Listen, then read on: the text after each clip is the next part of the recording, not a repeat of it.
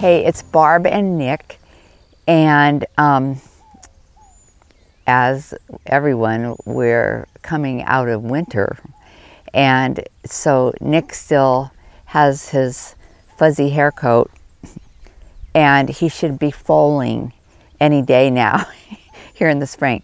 The good news is he's pregnant and not me. Of course, just being silly, but he does have a bit of a winter belly on him.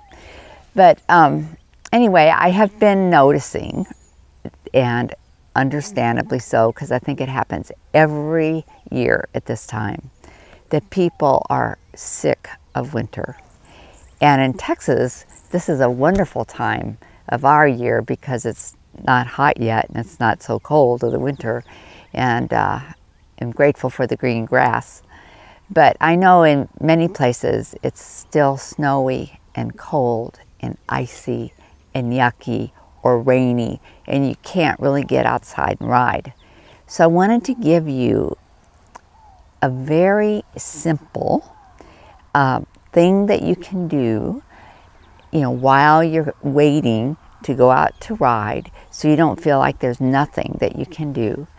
And it's um, a technique by a man named Daniel Coyle, and it's um, again, it's super simple. Here's what you do: you find a video of a rider or riders that you love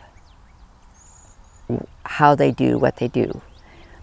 It could be, you know, simply riding in an arena. You know, if you compete or if you like certain disciplines that compete, you find this person or people. And several times a day, you just watch the video and feel it. You just, he calls it staring at the screen. You just watch the video. It's a type of visualization and if you feel it and don't mm-hmm. get too analytical about it, just become that person. Or again, just simply stare and watch and become enthralled without having to pick it apart, without thinking that you're not that good, your horse isn't that talented, none of that. Just allow that those images and those feelings to become engraved not only in your mind, but in your body.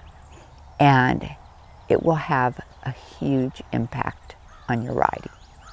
So that's my simple little tip. And um, Nick and I are going to go for a little ride.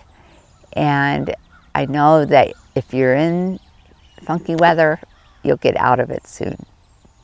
Okay, leave a comment. Bye bye.